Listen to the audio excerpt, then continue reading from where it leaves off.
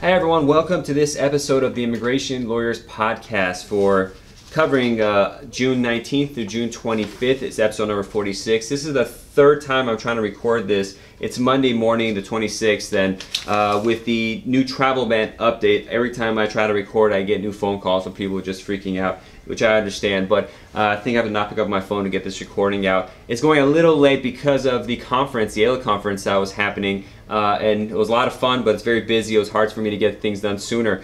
But uh, we're going to talk about that. I'm going to catch up with some of the news first and then go on some fun stuff I learned at the conference. I can't fit it all into this one podcast, so it's going to be a continuous thing. Just talking about the different things, the relationships, news, events, uh, facts, and cases, everything I picked up at the conference to share with you. And I want to thank everyone who stopped me and said hi and I talked with. It was a true pleasure meeting all of you, and hopefully I can see you at the next conference. I believe it's going to be in San Francisco, if not sooner. I travel a lot. Hopefully we can have some drinks or something whenever I'm in your city. Thanks so much, and without any more, let's get it started. Welcome to the Immigration Lawyers Podcast. I am the host, attorney John Khosravi, and I practice U.S. immigration law exclusively. For more information about the program, please visit www.immigrationlawyerspodcast.com. Please note that this recording is informational only and does not constitute legal advice. Please consult with a licensed attorney for specific legal guidance that suits your case. Also, this recording is copyrighted and written permission is required for rebroadcasting. For more information about me, please visit www.jqklaw.com. So let's just jump in with the news while it's happening. Of course, the travel ban is the hot news right now. It's uh, been reopened by the Supreme Court. Uh, they opened it up a little, allowing some of President Trump's ideas to go in. In particular, they said the travel ban uh, will affect uh, people, citizens of those six nations, uh, if they don't have any ties to the U.S. Now, unfortunately, the language is broad. They say, you know, bona fide relationships, family-wise. How far does that go? Is a cousin count, or does that have to be a mother, father, brother, and sister? Where is that line? Also, they say if there's an entity in the U.S. Well, does that that includes like universities for student visas? But that does that include a company you made yourself or an E2 that's hiring you? How do, how does that work in all of this? Uh, it, they specifically do say like a mother-in-law case is okay, a student visa case is okay, a lecturer coming to speak is okay. Um, also, it applies to uh, refugees. So refugees also have to have those ties, or else they can't come in. The dissent makes some good points. It says the court's remedy will prove unworkable. Today's compromise will burden executive officials with the task of deciding, on peril of contempt, whether individuals from the six affected nations who wish to enter the United States have a sufficient connection to a person or entity in this country. The compromise will invite a flood of litigation until this case is finally resolved on the merits, as parties and courts struggle to determine what exactly constitutes a bona fide relationship, who precisely has a credible claim to that relationship, and whether the claimed relationship was formed simply to avoid uh, Section 2C of the executive order of the ban. Uh, and the litigation of factual and legal issues that are likely to arise will presumably be directed to the two district courts whose initial orders in these cases this court has now, has now unanimously found sufficiently questionable to be stayed as the vast majority of the people potentially affected. Now the court's going to hear this again and start hearing it in the next session in October. So there's some leeway for some people entering. There's confusion in the time between. I'm getting the phone calls. Uh, and I'm not sure what to answer because there's a lot of times people that aren't my clients calling me. I just had a call, I had to shut down the previous recording for, for a guy that had a J1. You want to see if that applies. They said, listen, the F1, they said it's okay. I got to review your case. I can't just say, okay, you're good and then have problems. Um, that requires a full consultation talking, but at the end, I'm going to say probably it's okay because it's a J1 similar to an F1, and he's going to get frustrated that I wouldn't just give him the answer beforehand. So uh, this puts immigration lawyers as a practice in a, in a difficult bind because uh, it, the client relationship and the community they're going to think we're, I'm just trying to take money from to give an answer. But when the rule is not clear um, and not specific enough, that becomes a problem. Now, again, J1 is similar to F1. Hopefully, if that's a specific kind of case that they have, they come into a university institution, for example, might apply. Uh, but we'll see how that happens. The Supreme Court had two other decisions last week. One was uh, the idea that uh, getting bad immigration advice in the criminal proceedings um, could be a reason to reopen the case um, so they, they could review the bad immigration advice that was to the detriment when they pled to something. So that should be interesting. Also, uh, thankfully, they said this trivial lies or misrepresentation on applications, it's okay as long as you know the, the consequences of that truth coming out wouldn't stop the application from going forward. Uh, the government had argued it's very strict. They said on a naturalization application, almost like if uh, a period is in the wrong place, there's a little bit of error, the whole thing should be denied or a person could be denaturalized. Thankfully, the justices uh, considered that and found that to be too tedious and onerous on people to do. So that's out of the way. Uh, some news that happened uh, the SEC filed a lawsuit against the EB-5 Regional Center in Chicago that had a lot of problems, a lot of lawsuits, a lot of money uh, just being held and not used, and uh, a whole sort of a mess of problems. I met the developer, he was an immigration attorney as well. Um, he had uh, TV shows on the Iranian satellite, so he got a lot of money, uh, investment money for EB-5 from Iranians and China, as always. Uh, and right now he's in hot water. Not going to pass judgment on what exactly happened. It's kind of confusing. I haven't fully delved into the situation. But the SEC involved, so it's very scary. There's 10, uh, 80, 90 million dollar lawsuit to get that money back. Once the feds are involved and the Security Exchange Commission, it's a very scary situation. Uh, now, the N400 form had uh, online had some incorrect information from USCIS on the mailing address from June 12th to June 23rd. Um, they said that they're going to work with these and, and, fix them up, but there was a, a, location filing error. So if you had a naturalization case you filed with that address during this time period, it should probably go through, but go take a look and follow up USCIS. You might be getting your receipt notice a little late. Uh, USCIS has opened the premium processing option for H-1B visas for the Conrad waiver program. This should be a very small number of cases, but at least they have to, they are able to do the premium processing aspect to get those cases done sooner. Uh, the Indian archery team was denied their their group uh, visa, probably a P visa, to enter the United States. Uh, obviously, for you know ties and stuff like that. This has happened a couple of times in the last 12 months. Uh, there was a Himalayan women's soccer team and different groups that were denied visa. So always, you know, you think a national sports team because of the nature of it will easily get their visa and to come here. But just because the facts of it are okay doesn't mean the embassy still won't deny it because of uh, worries that the people are going to come and stay in the U.S. Now, last week I went to a CBP meeting in my local office in Los Angeles, and I forgot to talk about it uh, in, in, the last podcast. Also, I, I, haven't uploaded the video for the last one yet just because I was so busy, but I'm going to upload that video and this one pretty quick back to back. But uh, interesting they said is uh, when you do an immigrant visa case, um, the person has to come to the U.S., you know, they go through CBP, then they get the green card in the mail. There is an ELIS green card fee that you have to pay. I think it's like $220 definitely pay that before the person actually enters the United States or appears at the border. It's much faster to pay beforehand than they go to the border. Whereas if they go to the border, into the United States, then you pay it, there's going to be long delays until you actually get the green card in those kind of cases because you have to redo the system, find everything out. So that's like mandatory. If you have a client that's got the immigrant visa, has entered the U.S., pay the immigrant visa fee as soon as possible. Don't let them enter the United States without having paid that in the I-line system. Also, if you have complaints for DHS, contact DHS, DHS trips for complaints. There's also a local, uh, you know, at the at the airport passenger service manager you can contact when there's different issues, and hopefully they could. That's a way of bypassing the DHS trip by contacting the passenger services manager. Uh, that's a CBP officer within the airport or the regular port, and they could uh, help you fix the situation. Hopefully, that's regarding C, uh, CBP.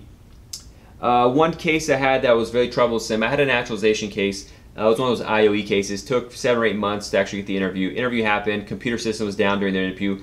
Interview took another month or two to get it approved. Once it was approved, we got a notification online that said, you know, your your uh, oath ceremony notice hasn't mailed. Uh, if you don't get it within 30 days, contact us. We waited two and a half weeks. Finally got the letter. When we got the letter, the oath ceremony had been set for three days previous, so it was already late. And on the letter, it had been stamped that the letter was posted a day after the actual oath ceremony day. So these kind of problems happen. Client is very frustrated. Um, I understand the frustration, but you know USCIS will redo it and we'll go fix it and everything like that. But these kind of problems happen. So with regards to naturalization, if you don't get the notice, uh, if you get that email update, if your if your case number is online and you get those notices, uh, and you get a notice that's coming, you don't get it within seven to ten days. Call them up, maybe go to the field office if you have the time, you have the ability to do so, or have your client go to get a paper copy. You're asking what it is because it never in the past has an oath ceremony taken more than a week for me to get once the case has been approved at the interview. Uh, so that should have been a, a, a, a red uh, sign of you know a flashing sign that says there's something going on that they're having air to follow up with that. It just never happened at a situation like that. I didn't believe it would be possible that they make an oath ceremony letter and then mail it after the oath ceremony date. that that's just ridiculous in my opinion. Also, a big thing that's been happening is uh, USCIS has been sending biometrics notice appoint, appointment notices uh, to everyone but the actual applicant. So I've received uh, these biometric appointments letters for people that aren't even my clients. So uh, I called USCIS and said this is happening a lot. If you follow the list, a lot of people are posting the information saying we might have got your client's biometric appointment notice. This is happening. Actually, I have a case in Las Vegas. It's been two months. They haven't got their biometrics appointment notice. Uh, and USCIS said they haven't issued yet. It might be an error. So biometrics is having some problems. So that does it for all the news and events updates for now. Uh, sorry I'm rushing it. It just is a slammed Monday. it's been a slammed weekend. So uh, there's uh, this recording. I kind of have to get it done. One interesting note I wanted to talk about, and I have to study this a lot more, but the European Union is, is passing some data security laws uh, with regards to cases. Uh, regards to email. So if you have an email and you're sending attachment, and they're having problems with uh, you know security breaches, so they don't want people to include you know sensitive data, professionals like us, to include sensitive data in these emails. So what does that mean? From what I gathered, and I'm going to talk about this more in the future, is I know I can't just email an I-134 and it's completed to my client to review. It's better and appropriate that I you know upload that into a secure server, something like Dropbox, and have the client access that Dropbox file instead of sending it directly by email. Uh, that's going to go into place next year, and you could potentially uh, be affected by that if you're an immigration attorney deal with European clients, EU clients. So that's something to be something important to be prepared for. Um, the interesting thing is one of the attorneys I spoke about is the EU wants to make it so that if a client asks you to destroy all their files, you have to destroy them. But on the other end, uh, as you know, U.S. attorneys, we have requirements to hold data for a certain period of time. So there's going to be a conflict of law in that situation. We'll have to see how that works its way through. Another thing I saw from talking to a lot of people at the conference was there's a growth in non-immigration law firms hiring immigration attorneys because of the nature of immigration practice touching upon all these other areas, criminal, family, you know, lawsuits, uh, personal injury, all this stuff. They want to have their own immigration attorney they're feeding it with. So if you're planning on starting your own firm or you're new or something like that, or you want to branch out, do something,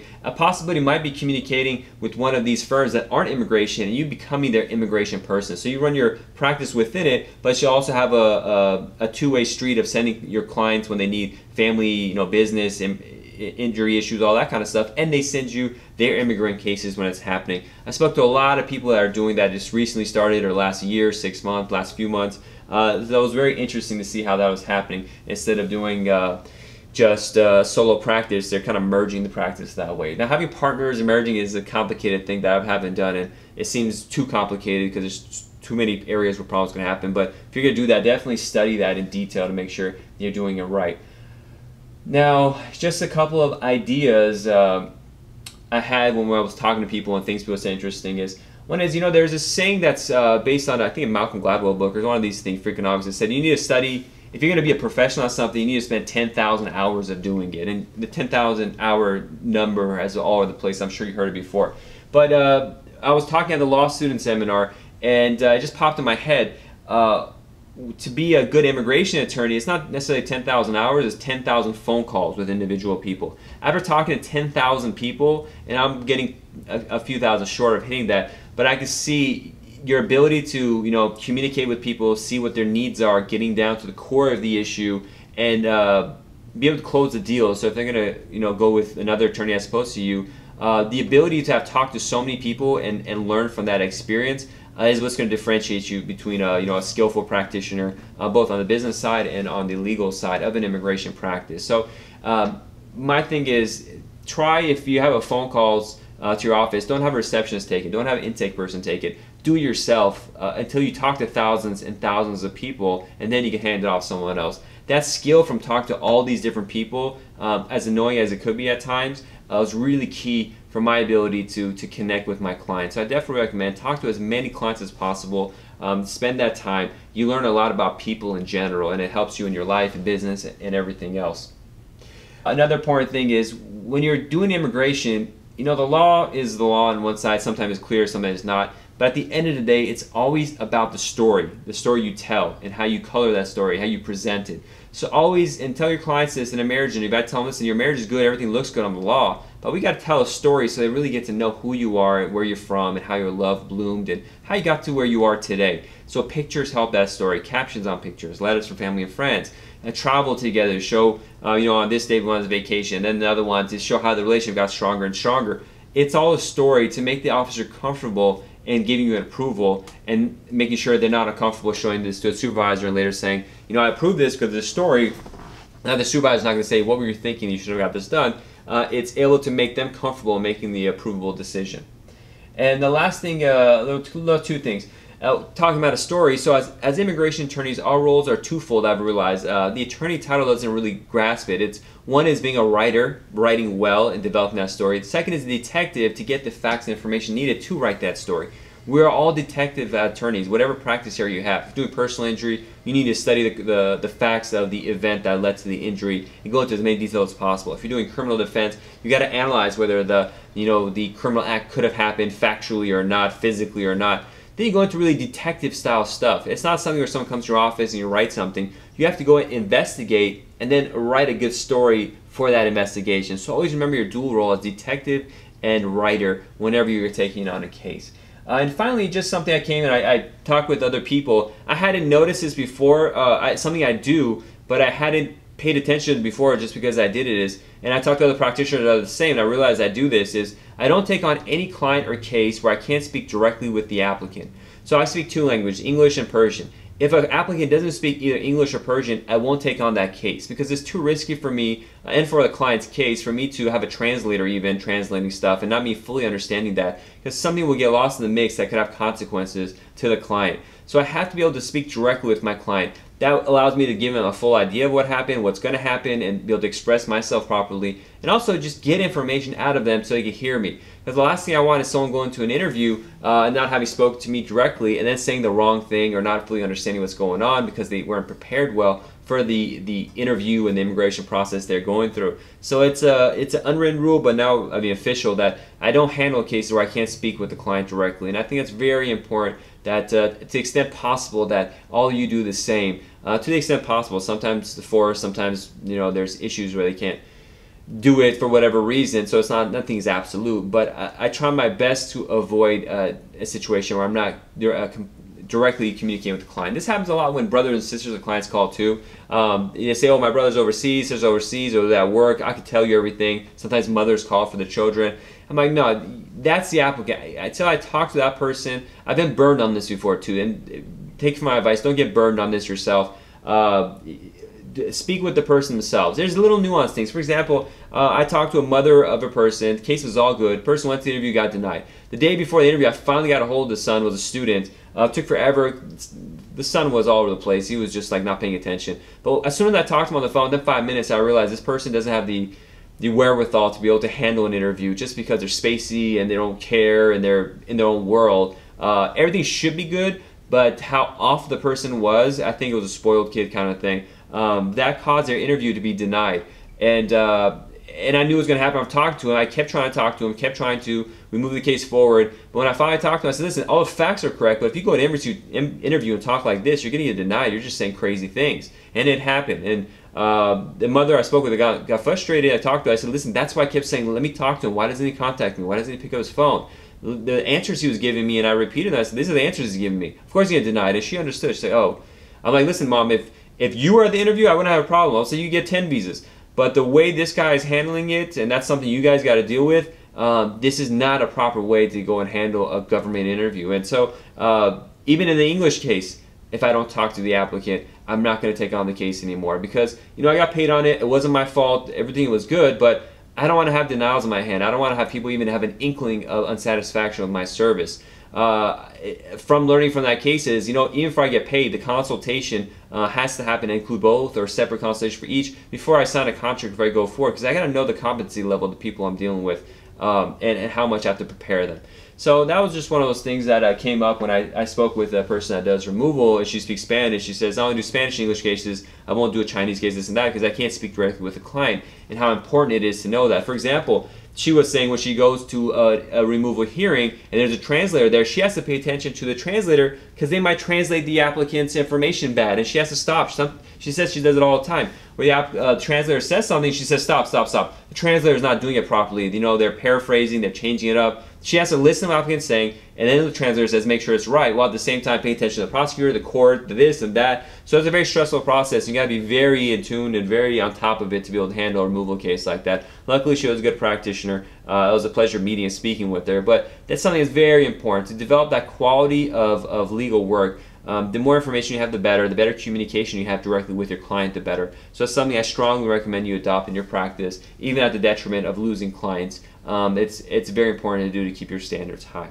Uh, that's it for today. Thank you for listening. Uh, have more stuff next week. I met a lot of people at the conference that I wanted to do interviews with, but between scheduling conflicts and stuff, we'll see how it goes. Also, different area laws I want to analyze, but uh, things are just going crazy. A bunch of new work just opened up uh, because this court decision I have to deal with. And at my at the conference, I spoke um, at an NVC panel about tips and tricks for the NVC and stuff like that. And I mentioned, I said, listen, every day there's new stuff that's happening. When we have a flat rate for consular processing, you know, you, the client paid, we started process six months ago, and now all of a sudden it hits all these walls that create hours and hours of extra work from contacting Congress people, contacting the embassy, um, not knowing what's going on with these travel bans, all this kind of stuff we got to be really careful about the pricing structure we do because all of a sudden we're on the hook for additional hours of work.